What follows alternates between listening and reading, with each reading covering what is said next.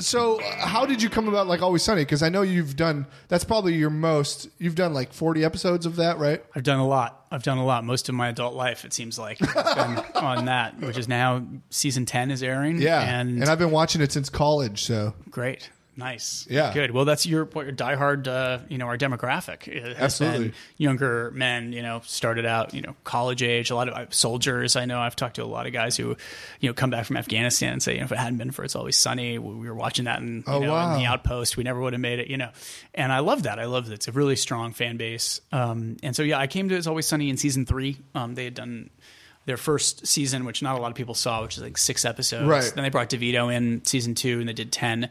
And then I came in season three, and I've been there pretty much ever since. how did you come about them, or how did they come about you? You I was recommended to them by a great director, a guy named Dan Attias, who uh, is another mentor like Zuek, who's been really helpful to me, really talented guy. And he had directed uh, a good chunk of the first season and all the second season. Okay. and he was he was off to do other things and you know he was he's a busy guy. And he said well you know you should you should meet my friend Matt. So I went in and met those guys and and they ended up hiring three former child actors to direct that season so I guess I fit their demographic it was uh it was Fred Savage and Oh, uh, yeah, yeah, he Jerry, directs a bunch, yeah. Jerry Levine who had been in um I think it's Jerry Levine, yeah, who was in uh, Teen Wolf and stuff. And so, uh, and then Fred and I continued on the next season, and then Fred departed, and I split it with a guy named Randall Einhorn, and then he left, and I was the only guy standing. Then I, so I did all of season five, I think. Okay. Yeah, and then ever since then, I've split it with a couple of other guys. Back to Sunny. You just shot that uh, single shot episode. That was Yeah. crazy. That was such a funny episode, by the way. That was so funny. Oh, good. what was that like? One of my great. That's great how I joys- found about you, by the way, because I love that episode. It was like, who directed that? And then I Oh. reached out to you. Well, yeah, it, I'm really proud of that episode. Charlie Work, it was called. Charlie Work, yeah. I'm really proud of it. It was a huge logistical challenge because we Absolutely. had to make most of, you know, it's there's a section that's like 12 to 14 minutes that feels like it's one shot and it's a lot of visual effects to kind of merge things because Like the doors and stuff, right? yeah, because the front of the the front of the pub is a location in downtown LA. The interior is a set on stage at Fox, uh, and some of those sets don't even link up. You know, the Right. basement the basement's not actually downstairs from the bar because we can't dig into the floor of the soundstage and Right. do it. So it's a separate thing. So we had to come up with some trickery, and we redesigned our sets so that certain things could be done in the flow.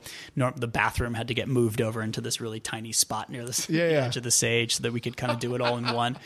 And I do so much theater, as we've talked about. I enjoy working on something that has a real game time energy. Totally. Where you know that, you know, much like I'm sure on ER when they had those 12 minute long takes and people are spewing medical jargon, there's like, if you fuck up, it's like, oh shit, like I've screwed it all it just up. cost us Yeah, $100,000. Stop, go back to one, bring the chickens out, you know. And so there's a real thing where it's like, okay, guys, we, we, we rehearsed it on the day before. Everybody kind of knew what they were doing. The actors knew, like, oh, okay, I got to be good tomorrow. So they all went home to like really get it down.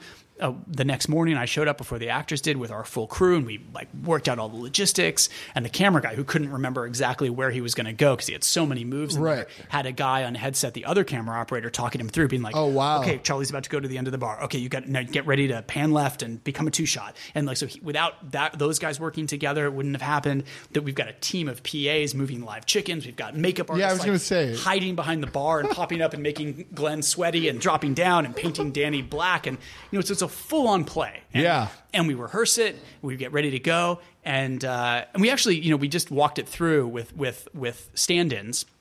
And then when Charlie came down, and it's basically all on his shoulders, I said, "Well, do you want to want to rehearse this the whole way through, or should we just shoot this?" And he was like, oh, "Let's just fucking shoot this, right?"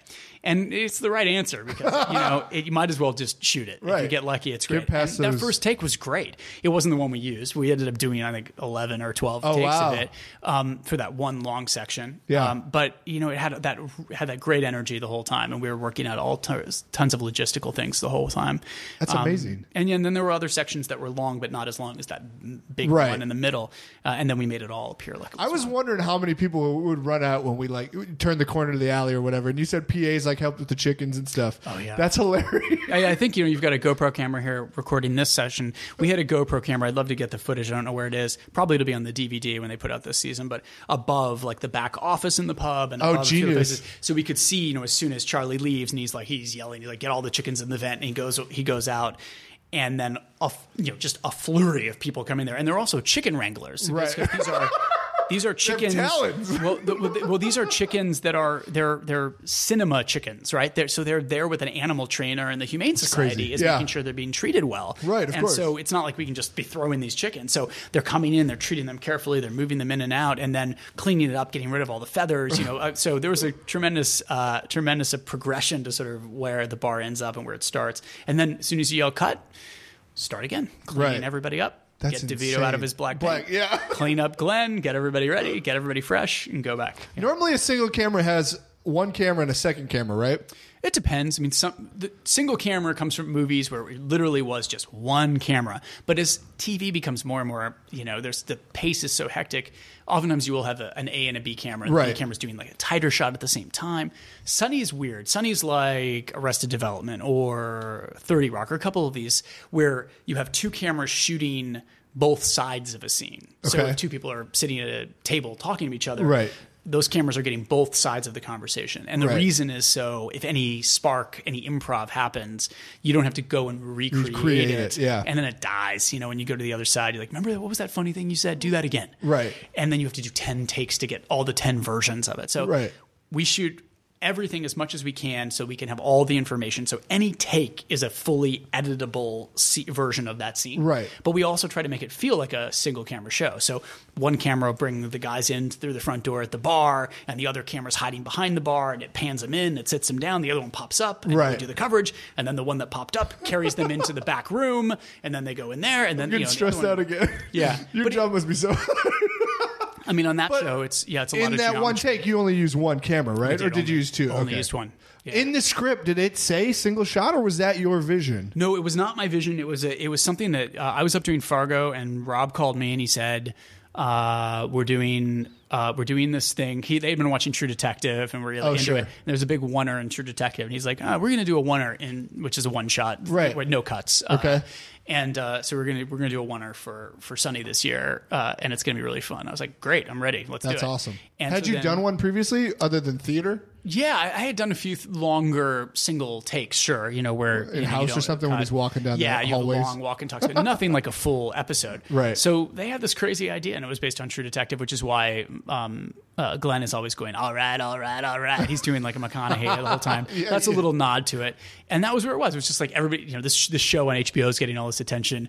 Why aren't they giving us attention? Well, we're going to do a oneer, you know, Sure. because we're always the you know the the the forgotten, lonely, sad, basic cable comedy. Fighting for basic respect, and so we're like, all right, let's do this. And then Birdman came out, and Birdman Yeah. came out months after we shot that thing, Right. Months after the jazz drum score had been written for, you know, and so everyone looks at it and says, "Oh, it's a Birdman homage," because you have Charlie freaking out and running around. And it's one shot, and there's a bunch of birds, Yeah. and a bunch of chickens, and you have a jazz jazz drum score, and we're like, "Oh, no, no." Now we're under the Now you set the- the record straight. Yeah, right. Yeah.